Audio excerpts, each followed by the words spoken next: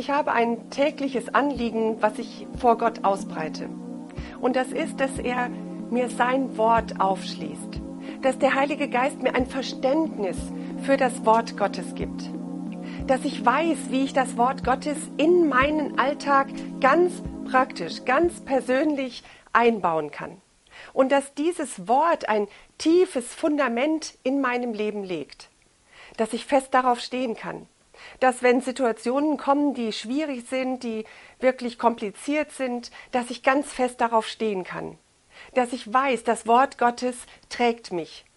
Es ist so wichtig, dass wir unseren Gott kennen, dass wir das Wort Gottes kennen und dass wir das wirklich aussprechen in unserem Leben.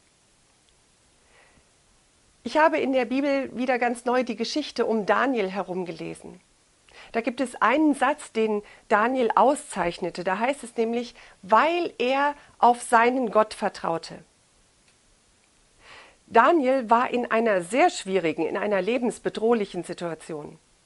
Er war in dieser Löwengrube und er war in dem Bewusstsein da reingegangen, mein Gott kann mich retten, ich vertraue ihm, egal wie das hier ausgeht, weil er auf seinen Gott vertraute das erfüllte ihn mit einer Stärke und mit einer Hoffnung auf Gott.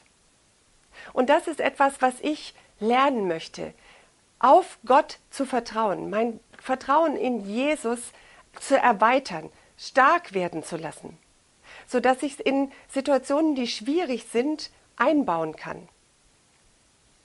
Ich wünsche dir, dass du weißt, wer Gott für dich ist dass du weißt, wie deine Identität in Christus aussieht, dass du dich unbedingt darauf verlassen kannst, dass das Wort Gottes wahr und wahrhaftig ist, dass er dir Vertrauen in deinem Leben schenkt.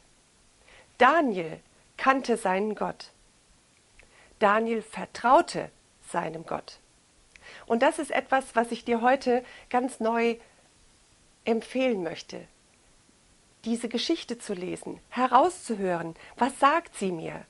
Und dein Vertrauen ganz neu weit zu machen in Christus, dass er dich führt, dass der Heilige Geist dich leitet und dass du vorangehen kannst, auch durch schwierige Situationen, weil du auf Gott vertraust.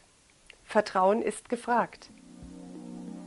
Ich weiß, Gott hat mehr für dich.